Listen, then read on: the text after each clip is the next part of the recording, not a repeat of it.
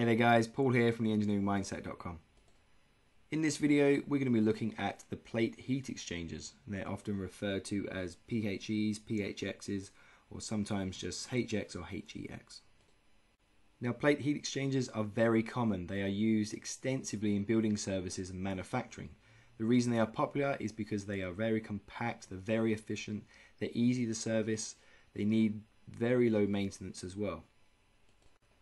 Their purpose is to transfer thermal energy from one fluid in one system to another without the two fluids mixing together. For example, in building services, you might want to transfer heat from a primary loop connected to a boiler over to a separate secondary loop, or maybe in a district heating network. Or in uh, manufacturing, you may want to cool down some oil um, and use water to cool that down, but obviously you don't want to mix the oil and the water together. Now if we pulled one of the heat exchangers apart, we're going to have uh, a look at some of the main components here. So we've got the end plates here, or the front and back cover, and these are made from usually a mild steel, and uh, they're very strong. They're there to hold everything together. Then we've got the nuts. These attach, obviously, and tighten up onto the tightening bolts. The tightening bolts, they fit in, uh, there's some grooves in there, and they'll run the entire length of the uh, heat exchanger. And the bolts are tightened on these uh, and that will compress all the plates together and squeeze the gaskets against the plates to make the heat exchanger completely waterproof or leak leak proof and then wedged in between there we've got the plates where the heat transfer occurs and we've also got the gaskets uh, which sit in between the, the plates and that's what gives it the seal Larger heat exchangers will also have this supporting bar at the top and the bottom. And you can see here that the case and the plates uh, they just slide along there and there's various ways that they can come off. Either they, they twist these ones would be too big to twist off but uh, can, there's a section removed at the back where these will just drop out. But the smaller ones these will just slide in and out. Now you can see a real plate a heat exchanger plate there on the screen now these are typically made from steel or titanium and you can see they've got this pattern uh, grooved into them or stamped into them. These patterns are going to uh, strengthen the plates, obviously they're, they're incredibly thin, and they're also going to increase the heat transfer surface area as well as creating a very turbulent flow inside them. So it's not smooth, all the water has to uh, rubble across these and come out very rough and turbulent. Now between the plates we've got the uh, gaskets here, just this rubber gasket and that is attached to the face of the plate and the purpose of the gasket is to ensure a tight fit and to prevent leaks. The gasket also allows or prevents the flow of fluid into the sheet. Um, you can see here, so in this section here, we've got the rubber seal coming across and a double seal on this one so that no fluid in this can leak out or, or flow in, uh, as well as this side, whereas here there is no uh, gasket there so the fluid if it entered here it could flow down and come down and enter into this one here because there isn't anything there. Same as this one the fluid can only come out of here and travel up and then into this section here into that hole. Now you'll probably notice that the tightening bolts are uh, they're actually uh, they extend far past the heat exchanger.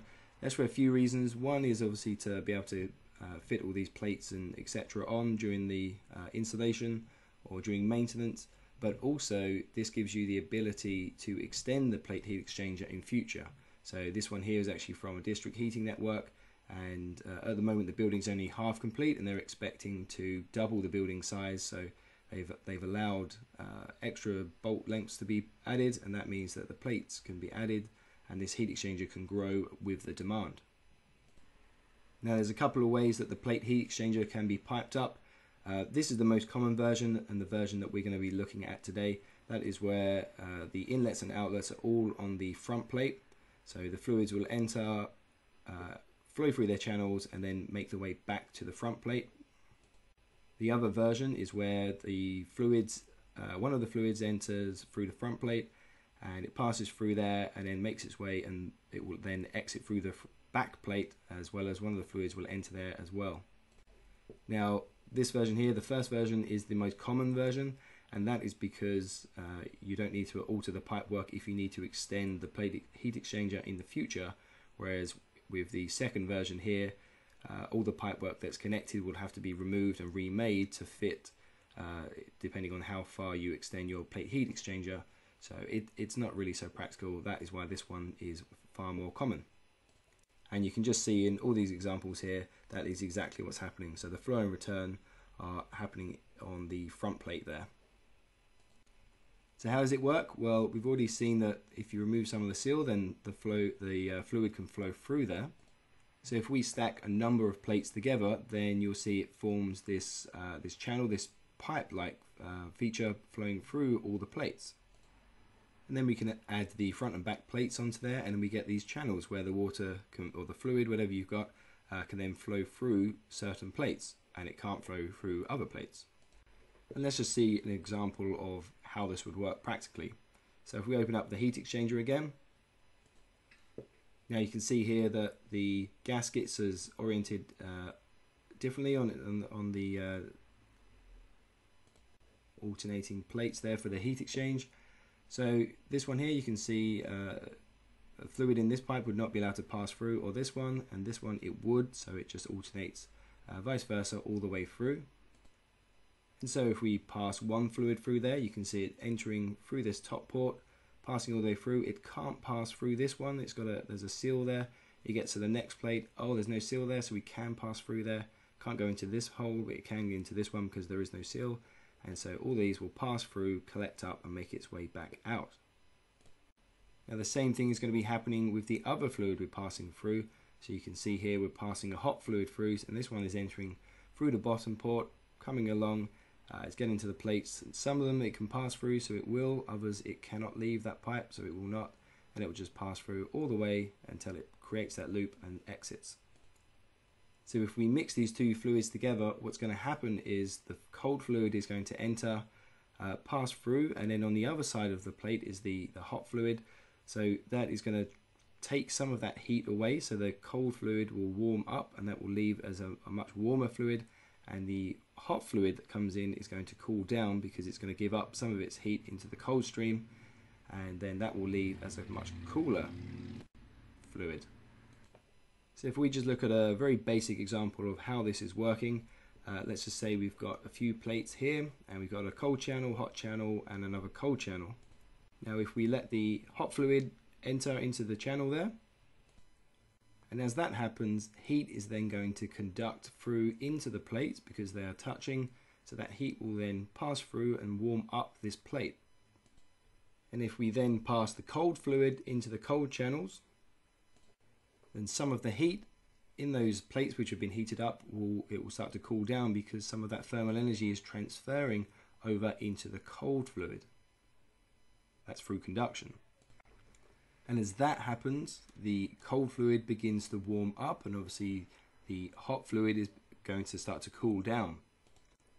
So then the heat exchanger starts to equal up, uh, equalize out, and that means that the cold fluid is going to enter, uh, is going to exit warm, and the hot fluid is going to exit cool. And that temperature gradient is going to then vary through the heat exchanger, through the plates, and also through the fluids, which is uh, con conducting the heat. So when you combine all of this together, that is how you get the heat transfer occur in the plate heat exchanger. Now you can also notice that these fluids are flowing in counterflow. Now that is the best configuration for the most uh, effectiveness because the log mean temperature difference, the LMTD, is at the greatest we'll have a look at what that means uh, in another video. This video is just for you to understand how it's working and why it works. I'll just give you a real world example of a heat exchanger here as well. So uh, this is a German heat exchanger as you can see uh, written down here, but you can see this heat exchanger here can provide 1500 uh, kilowatts of thermal thermal energy and has a transmission area of 29.3 meters squared with a flow rate of uh, 42,000 of almost 43,000 litres per hour. It will also handle up to 100 bar on, on each side of the plate. So you can see these things are very powerful and they're very efficient and very compact in how they work. Now if you do have one of these in your buildings, please also remember to insulate this as uh, it's much more energy efficient and keep the plastic threads, um, plastic sheets on the threads to protect them from damage, otherwise you won't be able to get these nuts off very easily. Okay, that's it for this video. Thank you very much for watching. I hope you enjoyed it and it helped you. Please don't forget to like, subscribe and share. And if you have any comments, leave them in the comment section below. I'll try to get back to you as soon as possible. Once again, thank you very much for watching.